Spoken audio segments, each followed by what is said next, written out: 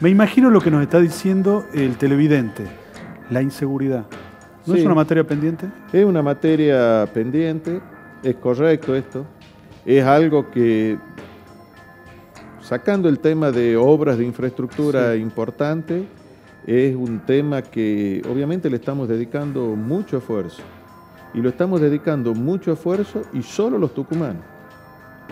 Solo los tucumanos.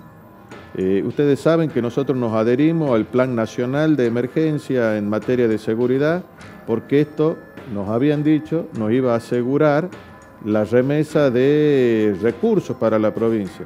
Autos de la policía, equipamientos, elementos de protección, etcétera, etcétera. Todo eso no.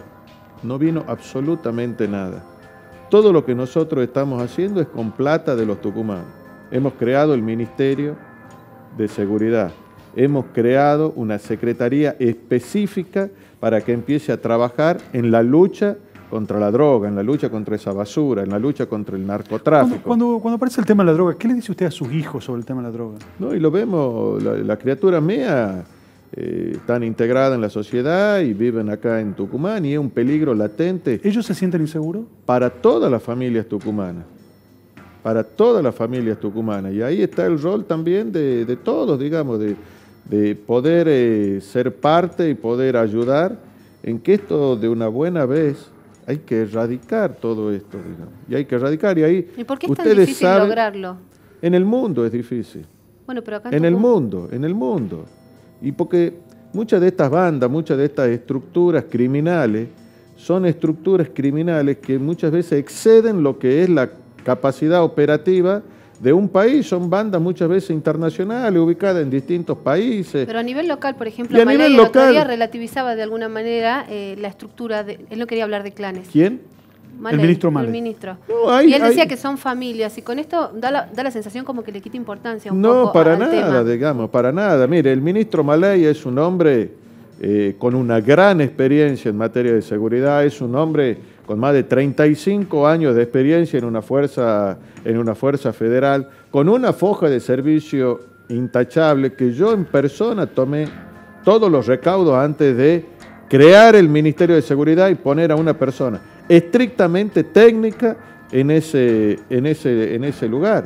Ahora, la situación hay que reconocer es compleja también, es muy compleja, por las bandas, por los clanes, por la aparatología, por, la, por el instrumental que tienen muchas de estas, de estas bandas que al mover tantos recursos y al mover tanto dinero que genera la, la, droga, bueno, tienen equipamientos muy sofisticados y ahí está el rol del Estado.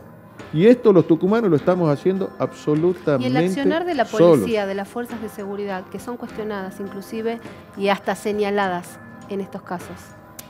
Lo que yo pretendo que la fuerza de seguridad sea y tenga mucha proximidad con el vecino, tenga mucha proximidad con el ciudadano, que eh, la policía lo sienta como propio. Todos los policías que hay en Tucumán, como en toda gran estructura, como en toda gran estructura, siempre hay gente que hace cosas que no corresponden. Bueno, eso la propia fuerza tiene que ir depurando, está para todos aquellos que hacen cosas que no corresponden la, justicia. Ahora, todos los policías son iguales que nosotros.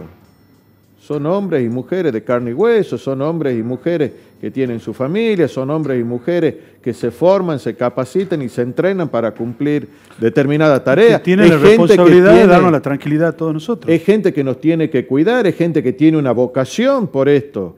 Digamos, y ahí está el rol de todos los tucumanos también ayudar, también colaborar, también hacerlos sentir parte a todos los policías que en realidad, digamos, tienen que ser las personas que a diario nos cuidan.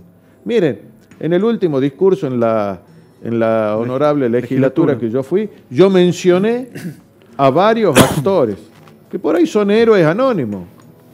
Y entre ellos estaban muchos policías que excediendo muchas veces lo que es el deber del cumplimiento de, que tienen que hacer, participan muchas veces en otras, en otras tareas. Y esto también lo tenemos que, decir, y esto también hay que hacerlo.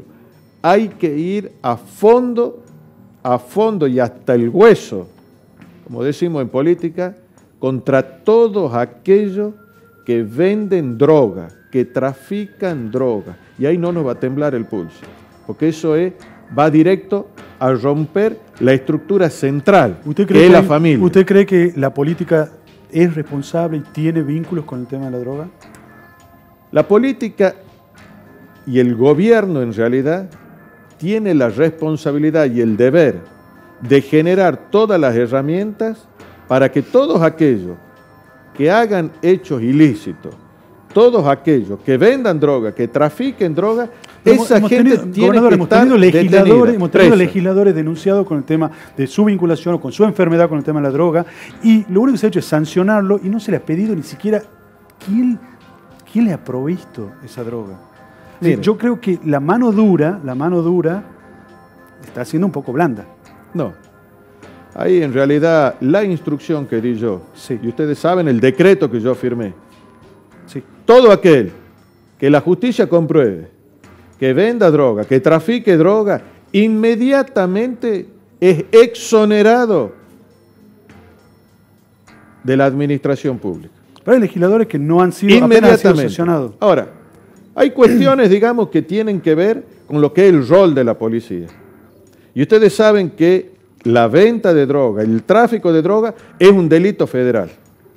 Correcto. Es un delito federal. Pero usted ha creado una secretaría encargada de eso. Exactamente, porque queremos ser parte, queremos ayudar, queremos sumar.